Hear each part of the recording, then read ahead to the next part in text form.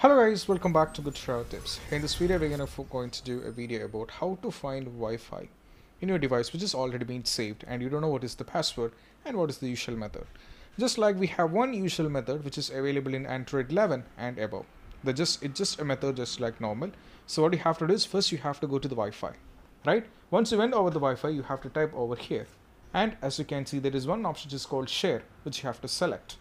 Once you select, you'll be getting a QR code and at the bottom as you can see there is a password which has been enabled.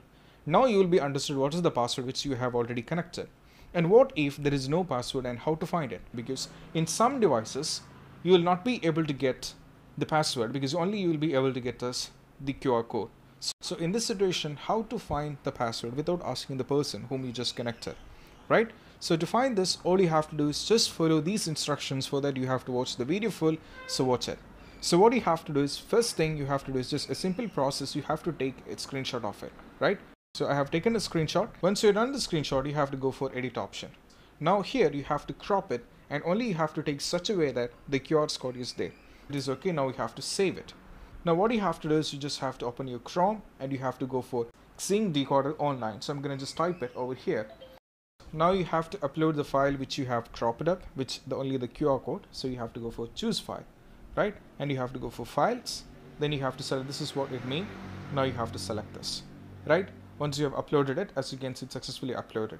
Now we just hit this we have to go for submit right? Let's go for submit button over here. Now once you have to wait for a little more time and this is how it looks like. So when it being done as you can see you can zoom in it. So this is the password as you can see. These are the result and this is the password. So get your tips the details are given and the password is 1234567 and QW. So this is the password. So this is how, how you can find the Wi-Fi password in your device. So this is about how to find the Wi-Fi password by decoding the QR code. So that's all about it. So I think this video is going to help you a lot. And if you felt like this video is helpful, don't forget to subscribe and click on the bell icon for the notification. And the most important thing, anything you would like to ask, you can let us know in the comment section. We are try the best to make it up. So this is Shahin signing off from Good Tip. See you soon. Keep practicing social distance. And see you in the next video.